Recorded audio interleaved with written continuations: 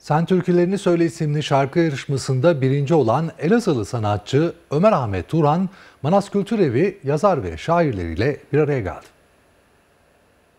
Elazığlı sanatçı Ömer Ahmet Turhan geçtiğimiz günlerde TRT'de yayınlanan ve Cengiz Özkan, Aysun Gültekin, İsmail Altunsaray, Öykü Gürman'la Emre Yücelen'in jüri üyeliğini yaptığı Sen Türkülerini Söyle isimli şarkı yarışmasında birinci olmuştu. söndürmez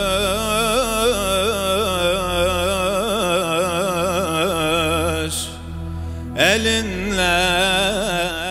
Yarışmadaki birinciliğinin ardından Elazığ'a gelen sanatçı Ömer Ahmet Turhan, Manas Kültür Evi yazar ve şairleriyle bir araya geldi. Manas Kültür Evi kurucusu Şener Bulut, Ömer Ahmet Turhan'ın yarışmada çok iyi bir performans sergilediğini ve birinciliği sonuna kadar hak ettiğini ifade etti. sanat hayatına, eğitim hayatına devam ederken bir baktık ki e, TRT 1'de yayınlanan Sen Türkülerini Söyle programının yarışmacısı olmuş. E, Tabi bütün halkımız, bütün şehir, bütün ülke o yarışmayı e, heyecanla takip etti. Bu değerli jürinin huzurunda e, sevgili Ahmet Turhan gerçekten yani muhteşem bir başarı ortaya koydu.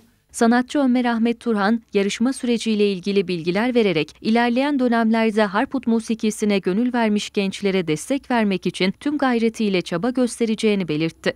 kabul e, görmüşler. Çeşitli elemelerden sonra e, şimdi yarışmada Harput türküleri, Harput eserleri okudum ama e, çok ağır eserlerden imtihan edildik. E, 30'a yakın eserden sorumlu tutuldum. Yani bunların içerisinde değişler, uzun havalar, e, çeşitli kırık havalarımız, çeşitli çeşitli yörelerden e, imtihan edildik ve oraya kabul edildik. Yarışmanın 10 hafta süreceği söylenildi ve ben e, eğer 10 hafta ilerlersem diye tüm seçeneklerimi önceden hazırlamıştım. E, yarınlarımız ben eminim ki belki günün şartları değişebilir ama e, yine bu müziğe, bu musikiye sahip çıkan gençler aramızdan çıkacaktır.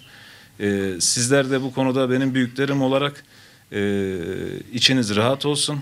E, ben de bir gün e, yaş olarak ve e, bilgi olarak daha iyi bir noktaya geldiğim anda bu şehrin içinden çıkan çocuklara elimden gelen e, elimden ne geliyorsa onlarla e, her türlü imkanlarımı paylaşmaya hazır olacağım.